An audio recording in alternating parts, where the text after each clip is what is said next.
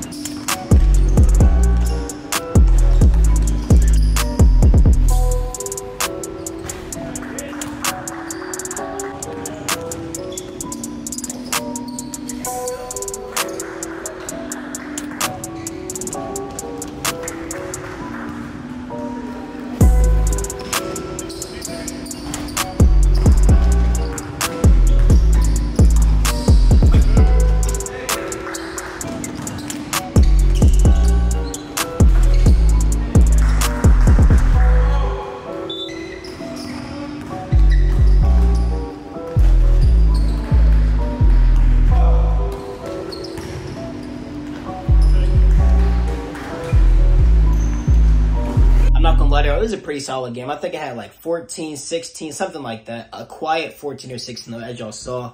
Um, hey, 5 0 though. Can't complain. Moving on next week. Hopefully we can pick it up, be 6 0.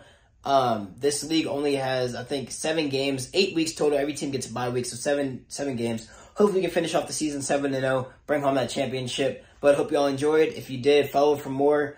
Uh, go follow me on TikTok, follow me on YouTube, follow me on Instagram for all the good stuff to see highlights, motivational stuff my type of financial content, whatever y'all want to see. Anyways, appreciate y'all for the support and peace.